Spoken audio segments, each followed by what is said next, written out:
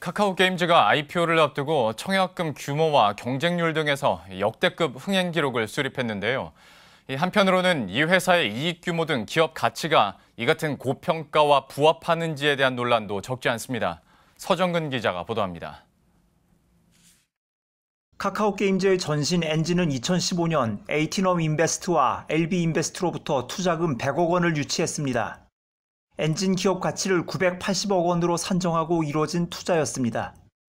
카카오 게임즈 공모가 2만 4천 원을 기준으로 현재 회사 가치는 1조 7,600억 원, 5년 사이 18배 커졌습니다. 2018년 텐센트와 넷마블 등은 카카오 게임즈 회사 가치를 7천억 원으로 산정하고 1,400억 원을 투자했습니다. IPO를 앞두고 투자한 이들도 공모가 기준으로 100%를 웃도는 수익이 손에 잡히게 됐습니다. 카카오 게임즈 공모 청약 열기를 감안하면 공모가 대비 시초가가 2배 이상 형성되고 상한가로 거래를 마감하는 이른바 따상 기대감도 생겨난 상황. 이 경우 카카오 게임즈 시가총액은 4조 5,679억 원.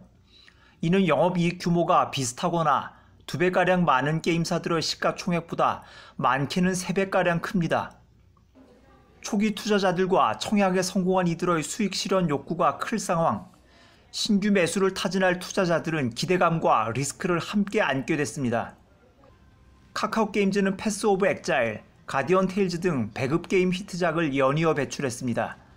반면 자체 개발력은 아직 검증이 되지 않은 상황.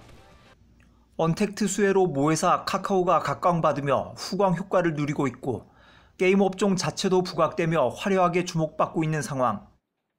그러나 회사 이익 규모 등 실제 체급과 시장 기대감 간의 갭이 너무 커졌다는 평가도 나옵니다.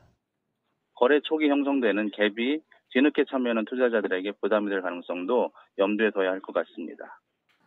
증권가 컨센서스는 일단 주당 3만 원 전후에 맞춰지는 상황. 기업의 실제 내실을 두루 살펴보고 판단해야 한다는 목소리도 나옵니다. 머니투데이 방송 서정근입니다.